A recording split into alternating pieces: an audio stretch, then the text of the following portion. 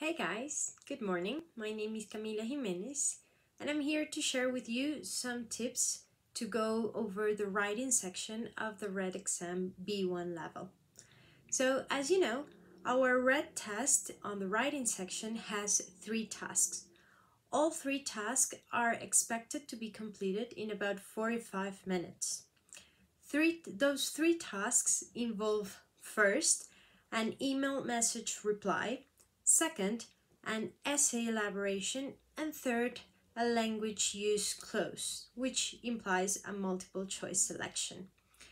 For the email message reply, you're expected to write between 80 and 100 words. This is basically you are going to receive a message or a part of a message to which you will have to write a response, right, in the email message format.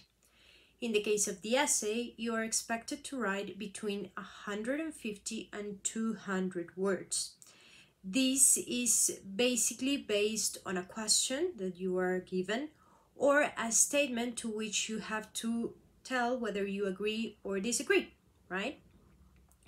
There are four basic criteria to which we, the evaluators, pay attention to when we are reading your answers. First, there is task fulfillment.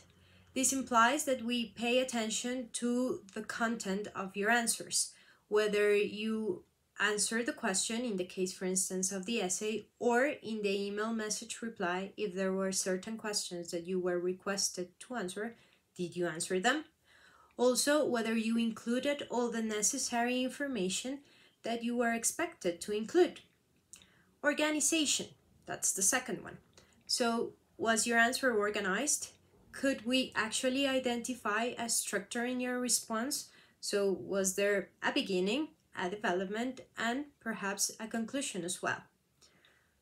Third, grammar. So are you using grammar appropriately? Is there an elaborated sentence structure? Can we see a subject, a verb, a complement in the sentences? Is there a good range? I mean, are you using simple forms, complex, form, complex forms? Are you using punctuation appropriately? Do you know how to use commas? Do you know how to use periods, quotation marks, question marks? All of these elements are part of grammar. And finally, vocabulary. This includes also spelling. Pay attention particularly to homophones. Remember that some words have very similar pronunciation, but they are written completely differently and they have different meanings as well. Pay attention also to the range. Are you using a wide range of vocabulary or are you narrowing down to a limited range of vocabulary?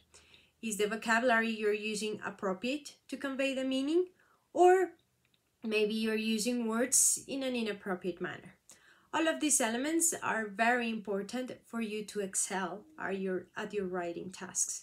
So I hope these tips were useful for you to complete the writing section and see you again in another video. Goodbye.